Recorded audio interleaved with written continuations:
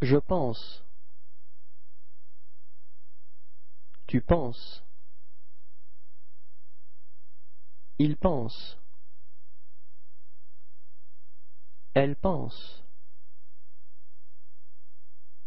Nous pensons. Vous pensez. Il pense. Elle pense.